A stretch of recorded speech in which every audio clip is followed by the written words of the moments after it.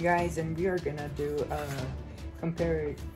Uh, we're gonna see which one of these drones is better for the price, speed, everything. For the range range of it, it's probably gonna be this one because it just What's that one? it's the ASC 200 for the HD drone. Send it, aeronauts. It's that's kind of hard to say. Okay, so this can do flips, but so can this. But this What's the is brand? it's the same brand as this. It's uh, Voyage Aeronautics. This- is the from Aeronautics. This is from Walmart. This is from Costco. This one is cheaper. From if you buy it from Costco.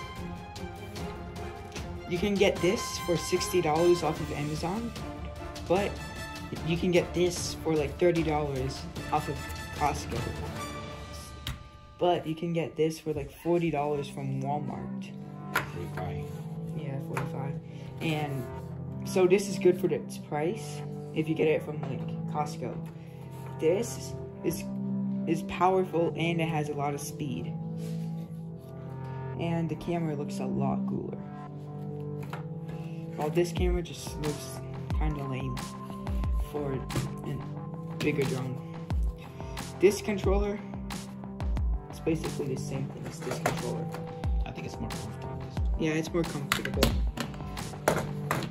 This, however, I just like it more because it's bigger and you can see it easily when, easily when it's like very far away. This, if you just put it 10 feet away, it's going to be very hard to see. And this has a stronger battery. You can tell that the battery's not in it because they're charging. And this has the, the weakest battery. But this battery does last for 10 minutes. This lasts for like 20 to 30 minutes. So, yeah. They both have their, like, they both have cameras. I feel like this one's better because you can probably see better in the dark because of these lights. While this one just has like these lights, but it's not really direct on the camera. And this has like this backlight and this doesn't. And I don't know what this is. What? This. Oh, I don't know. They both have basically the same extra parts. And yeah, that's about it. Um, so, in comparison, this is better for its price if you buy it from Walmart, but this is better in price if you buy it from Costco. So this is probably the better deal if you get it at Costco.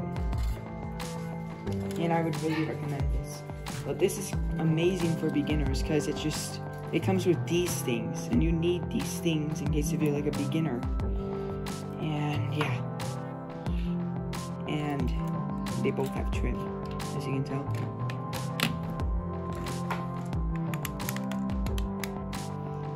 Yeah, trim is like very important for a drone in case if you want to like put the slightest amount of power, more power to a propeller. So yeah. So yeah, that's it. This is better for like most of the stuff other than speed. This is, and this sounds a lot for some reason. So yeah. Hopefully you guys enjoyed this like video and please like and subscribe.